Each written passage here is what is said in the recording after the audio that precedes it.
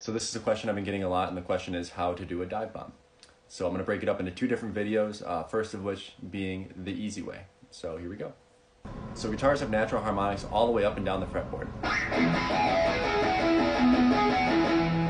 To do a dive bomb, all you have to do is just hit the harmonic and then grab your whammy bar and then push it down.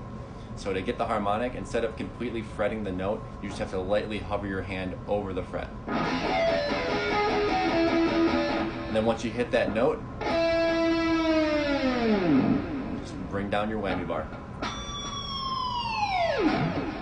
There you go.